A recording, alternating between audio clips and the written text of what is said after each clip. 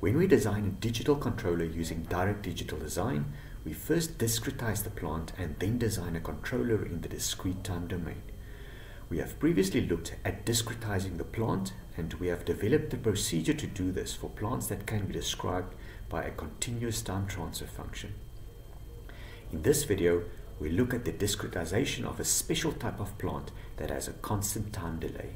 Such a plant is also called a system with dead time.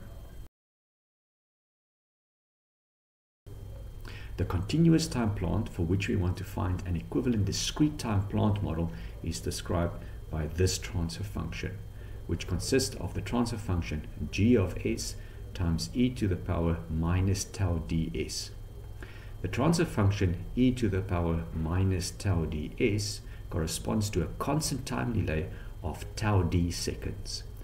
Similar to the general case we looked at previously, the plant is preceded by a zero order hold circuit and the discrete time signal u of k is converted to the impulse train formulation before it is applied to the input of the zero order hold. The plant output is sampled to produce the discrete time plant output y of k.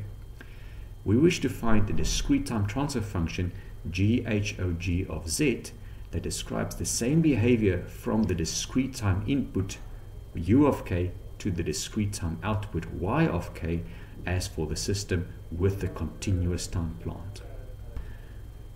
To find an expression for the equivalent discrete time plant, we use the procedure developed previously where GHOG of z is given by 1 minus z to the power minus 1 times the z transform of the continuous time plant transfer function divided by s. If we redefine the time delay as tau d equal to n times t, where t is the sampling period, then we can rewrite this expression as shown here. For the case where n is an integer, e to the power nts corresponds to the uh, delay of n sampling periods.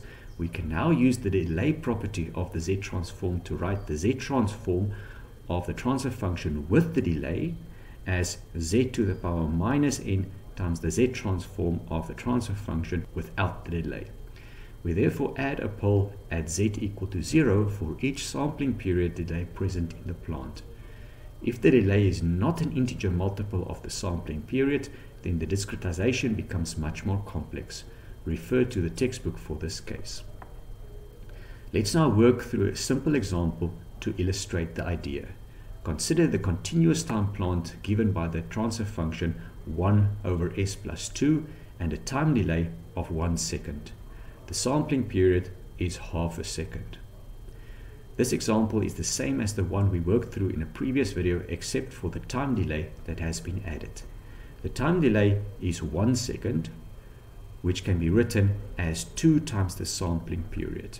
Therefore n is equal to 2 which we substitute into our expression for the discrete time plant.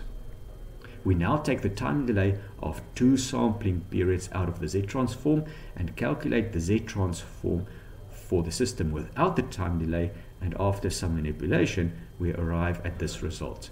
We covered the last two steps in more detail in a previous video.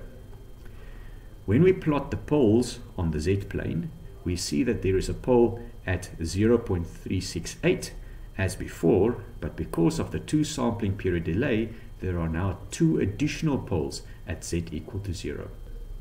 The ease with which we can model time delays in discrete time systems compared to continuous time systems is one of the advantages of using discrete time models for dynamic systems.